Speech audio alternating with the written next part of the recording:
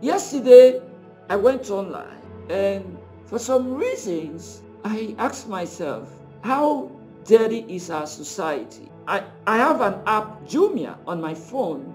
So I went to check some bad products online that people use to replace a sex partner. I said, let me see how corrupt our society is. Because this is Africa. I said, let me read reviews. I checked about two, three products and I was reading.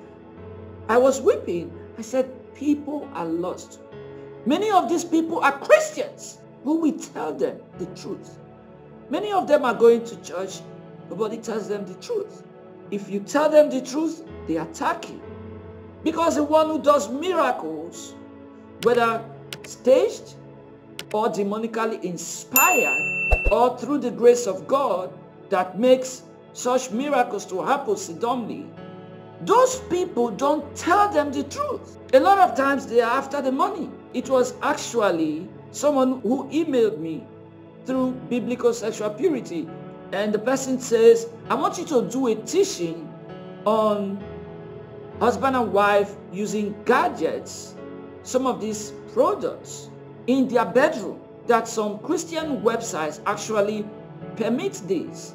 So this is one of the things that informed me going online to go and check, okay, how do people actually patronize these products over here? So I went to a local market, a national market over here, online, to search for it.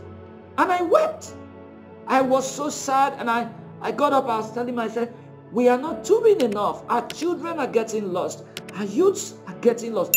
These are things that our parents never knew, but they enjoyed their marriages, they enjoyed their lives. Today, we have a lot of addicts even in church. But what do we do? I prophesy to you, I prophesy to you, no trouble will come to you. And some of these people coming to church, coming with their loads of sins.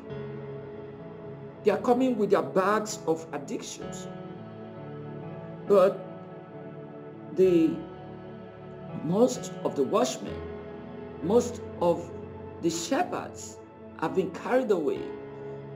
A lot of them are concerned about the immediate gratification, the immediate financial gains. That is what they are concerned about. God is calling us to action. God is calling us to wake up from our slumber